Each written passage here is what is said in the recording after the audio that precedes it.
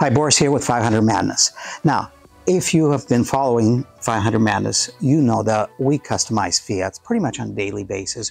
We ship products all over the world to other fellow 500 enthusiasts, fellow 500L, 500X enthusiasts, Fiat 124 enthusiasts, and we also work with a number of manufacturers to try to develop products that we think will enhance the ownership experience of the vehicle.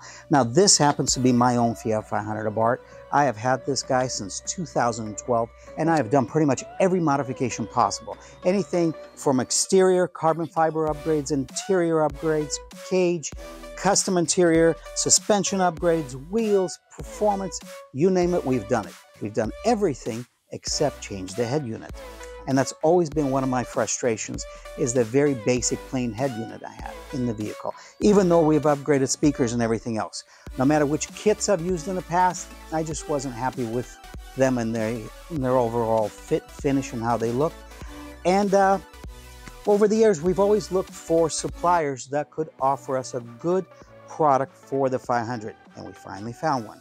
So over the last six to eight months now, we've been working with a supplier that manufactures uh, audio components. And we've paired up with them and put together a nice package of a nice head unit with a lot of nice features that we feel you would enjoy. Uh, the installation is rather simple. The overall fit and finish is great. And the product just looks like it belongs in the dash. So come follow me inside. We'll show you how it actually works because we just installed it here. Okay, we're inside my Fiat here and want to show you the new unit. As So let's take a good look. First, you can see it has a really nice fit in this dash. It looks correct. Doesn't It's not sticking up too high. Uh, it's not too big, it's not too small, and it looks pretty well designed. You can see you have two small vents here. These vents are fixed. Uh, they are not as big as the factory ones, so you will get a little reduction of airflow here and a little increase on the airflow on the sides. Now, what we've experienced with some other units that were used with an aftermarket kit is a lot of times the vents would break. So we actually like these to be fixed. Uh, these come as a part of this unit. So you're literally snapping the whole unit in. Now, with this now, dash looks a little bit more updated. So let's let me take you through. Uh, you're going to find all this is pretty easy to use. If you use any kind of a tablet, you will find pretty similar things. Uh, you have your map here. You can hit the little back button, uh, your Bluetooth controls. Um, you have a variety of apps you can download. You have your radio.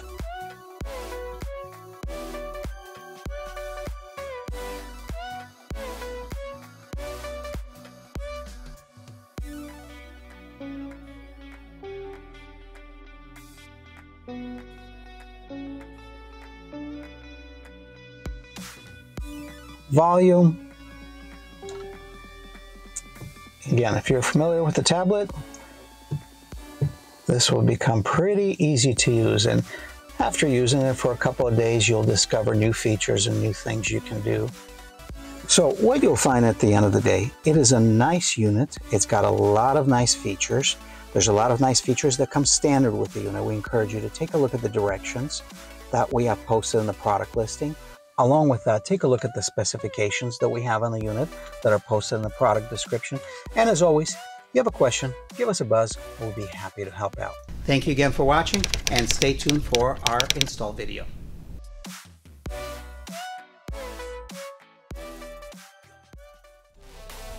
Today we're going to be replacing this old outdated radio with a new touchscreen double-din radio. So first off, you'll want to remove these covers in each of the corners on this radio.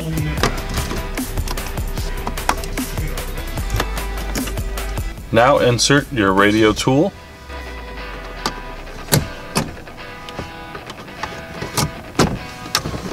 And work it out.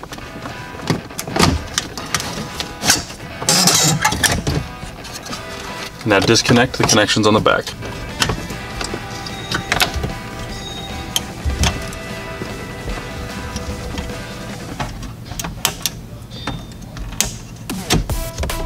Now take a Phillips head and remove the two Phillips head screws.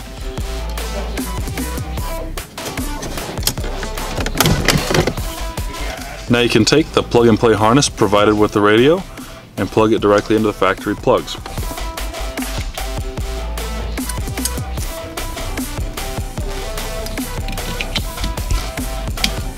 Make sure everything is seated nicely and clicks into place. And now you can start assembling this into the back of the radio.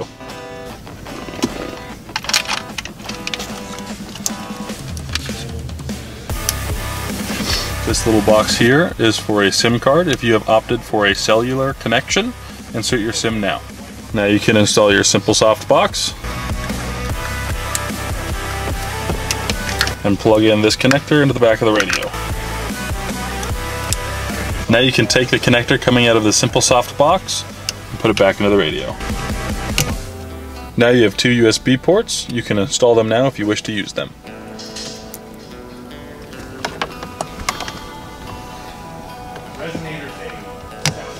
For our installation, we've opted to just run our main USB connector, routing it down and into our shifter housing.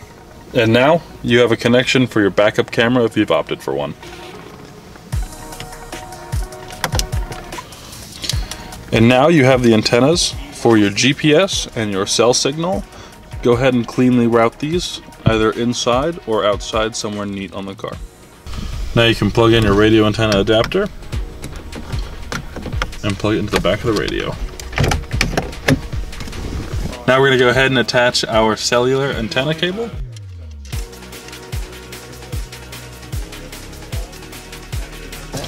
Now that everything is hooked up, you're going to want to test your radio. Alright, now we got the phone hooked up to it and we're to test to make sure the sound system is working properly.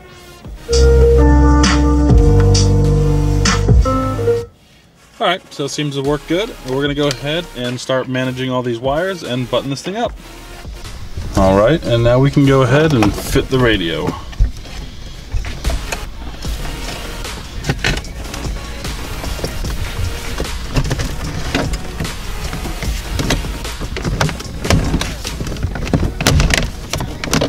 Here we have the new display installed and running.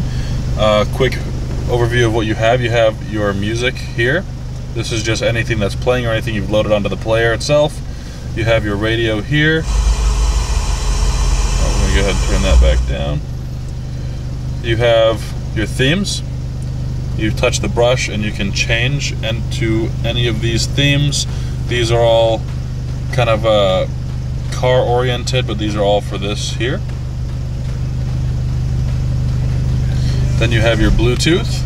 This is allowing you to call anybody. You can go through your phone book here. You can do your music. It's just all of your standard Bluetooth functions here, all your connections and so on. And then lastly, you have your navigation, which will auto show on here.